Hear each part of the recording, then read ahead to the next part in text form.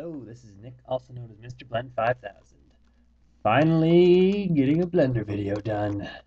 This is my fifth attempt at making a working video. My computer has been absolutely ridiculous with trying to make videos, so I'm on my friend's computer doing it now.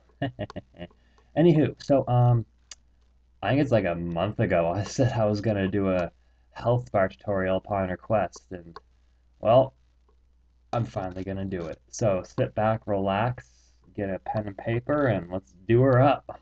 so first what we're gonna do is we're gonna delete our default cube because no one likes default cubes, and we're gonna add a cube. Um, okay, so we're gonna GZ our cube up here.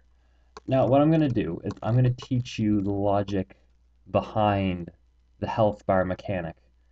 And what I want you to do is I want you to take that logic as your own, take it, hold it close to you, and spread your wings and fly with it. Just fly away with that logic. And do beautiful things with it.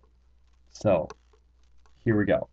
After adding our cube, we're going to spacebar, add mesh plane, size our plane up, and that's going to be our floor, because this is in a game engine. We have to realize.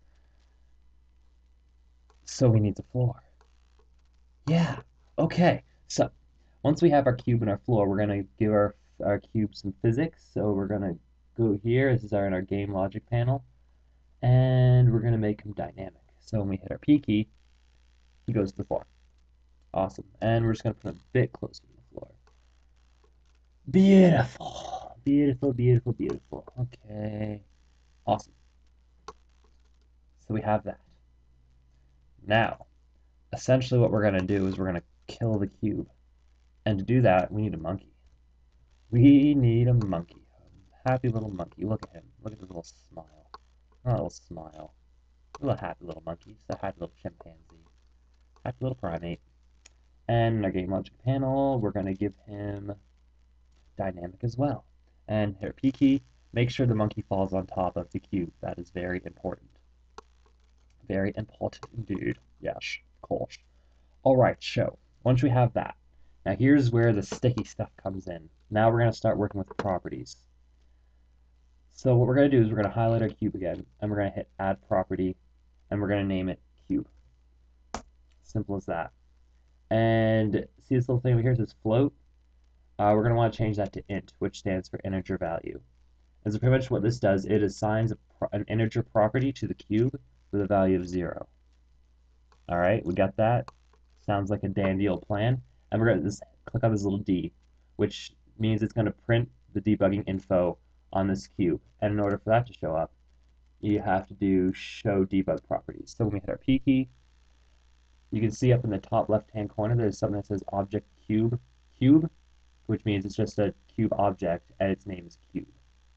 And its properties equal zero. Okie dokie. Now we're going to go to our monkey and we're going to add another property. We're going to leave it as a float um, the way I see a float is just like a just a just a little chilling value. It doesn't really when I use it at least it's pretty static. It just kind of chills there, chillaxes, you know, just does his thing, his little property thing. And we're gonna name it Monkey. Did I? No, I didn't spell that. Moin, Monkey, no, Monkey. and same thing. Hit the D key, and so now we have a cube and a monkey both with their own respect, respective properties.